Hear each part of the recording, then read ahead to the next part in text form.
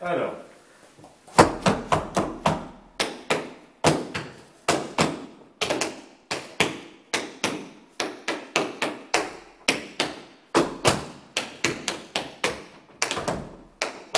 Je vais le faire un peu plus vite.